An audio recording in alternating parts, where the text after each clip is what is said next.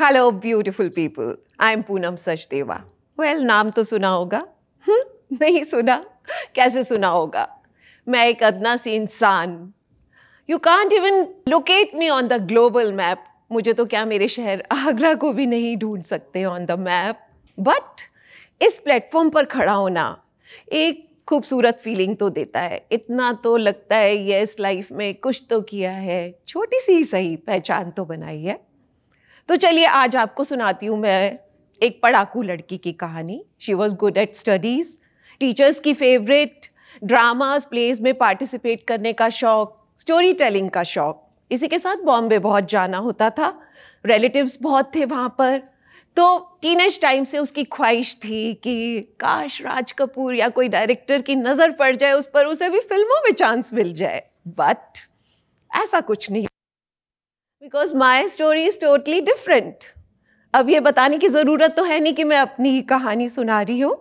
खैर, इलेवेंथ में आते आते मम्मी पापा ने कहा, बेटा, अब ये प्लेस व्लेस बहुत हो गए। अब थोड़ा सा स्टडीज़ पर कंसंट्रेट करो। प्रॉब्लम क्या हो गई? पढ़ाई करते करते ढाई अक्षर प्रेम के भी पढ़ लिए। प्यार हुआ, इकरार हुआ, पता ही नहीं चला कब बालिका वधु बन गई। No no please don't misunderstand I was legally eligible for marriage अठारह की हो चुकी थी ग्रेजुएशन मैंने बाद में कंप्लीट किया खैर अच्छा परिवार मिला प्यार करने वाला हस्बैंड आज भी साथ निभा रहा है he is here with me दो प्यारे प्यारे बच्चे, और क्या चाहिए लाइफ में? Life was family family was life ज़िंदगी का मेन मकसद घर संभालना, बच्चों को पालना, बड़ा करना, पढ़ाना रिस्पॉन्सिबल बनाना। एक पॉइंट पर आकर ये सब काम भी हो गए। अब लाइफ मस्त, घूमो, फिरो, ऐश करो पार्टी करो, घंटों लोगों के साथ फ़ोन पर बात करो दैट्स इट इस ज़िंदगी ने 360 डिग्री का टर्न लिया। जब मेरे ही बरसों से देखे एक सपने ने हकीकत का जामा पहन लिया। वो क्या था कि 2000 में केबीसी कौन बनेगा करोड़पति स्टार्ट हुआ था। और तब से मेरी दिली ख्वाहिश थी कि मैं हॉट सीट पर पहुँच सकूँ। सोते, जागते, उठते, बैठते। मैं मिस्टर अमिताभ बच्चन के सामने हॉट सीट पर बैठकर उनसे ढेरों बातें किया करती थी। वो कहते हैं ना, जब किसी चीज़ को शिद्दत से चाहो तो पूरी कायनात उसे तुमसे मिलाने की कोशिश करती है। तो कायनात ने चौदह साल बाद 2014 में ये सपना मेरी गोदी में डाल दिया। एक लंबे ऑडिशन के बाद मेरा सिलेक्शन हो गया, फास्टेस्ट फिंगर फ़र्स्ट में खूब सारी तैयारी करके हम पहुँच गए। मुंबई केबीसी के सेट्स पर घड़ी की टिक टिक टिक टिक। केबीसी का वो पॉपुलर म्यूज़िक और उसी के साथ एंट्री हुई सदी के माना एक मिस्टर अमिताभ बच्चन की।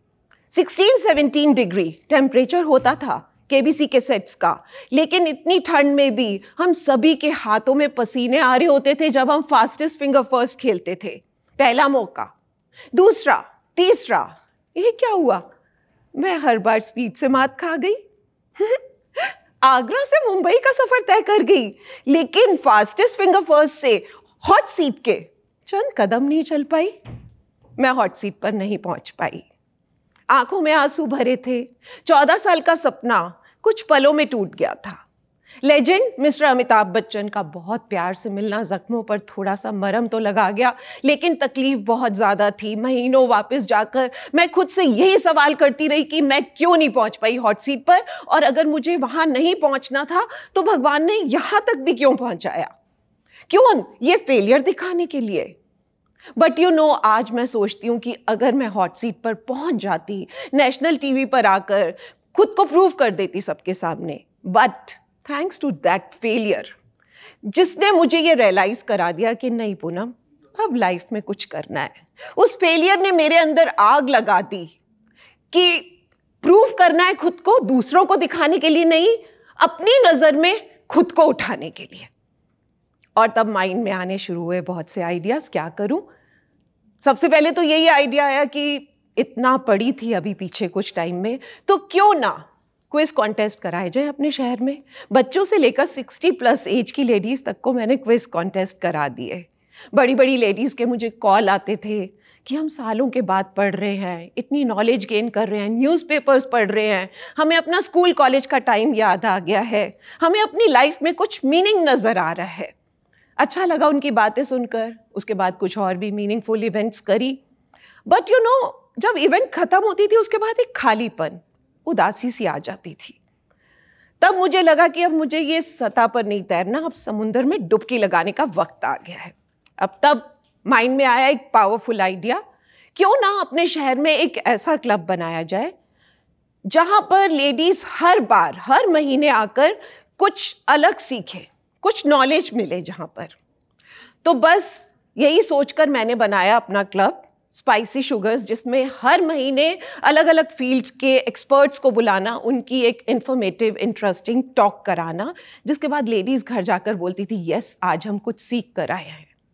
I feel so proud to tell कि मेरे इस क्लब में अभी तक बहुत सी जानी मानी हस्तियाँ आ चुकी हैं।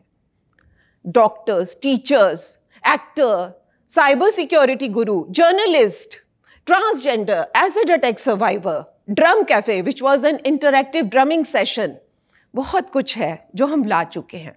नाउ कमिंग बैक टू 2019 2019 में सीज़न वन खत्म हुआ मेरे क्लब का एंड 2020 में सेकेंड एंड तभी आ गया कोविड सब कुछ रुक गया, लेकिन अब मैं कैसे रुकती?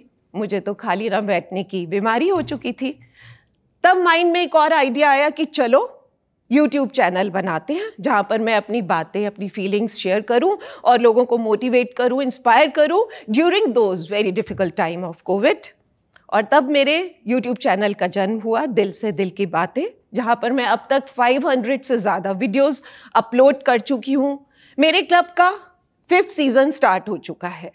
यू you नो know, जब सीज़न वन ख़त्म हुआ था उस टाइम पर बहुत सी लेडीज़ ने कहा कि अब आगे क्या सीखेंगे? इतना कुछ तो आप ला चुके हो।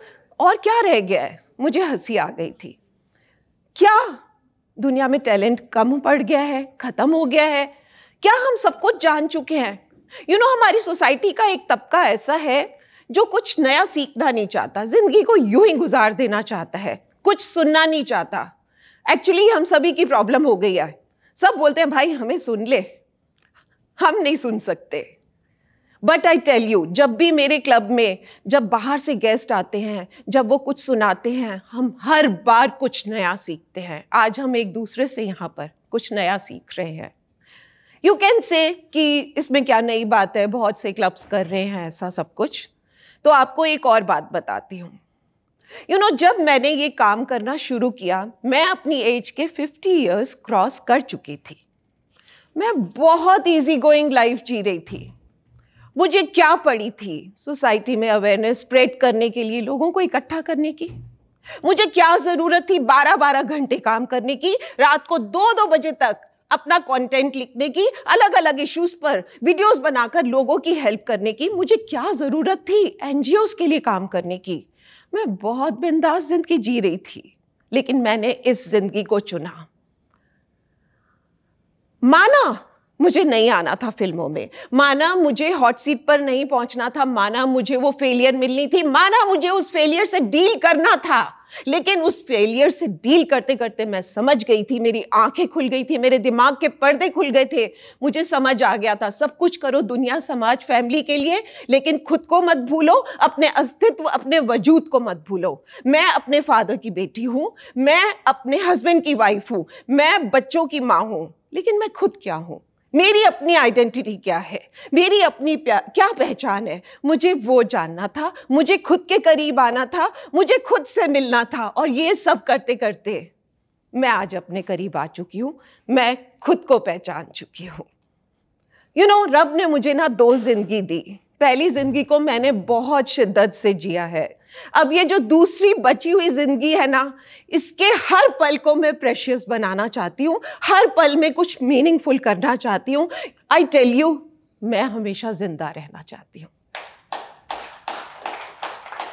आप कहेंगे, क्या बोल रही हूँ मैं? लेकिन हम अपने कामों से तो ज़िंदा रह सकते हैं ना।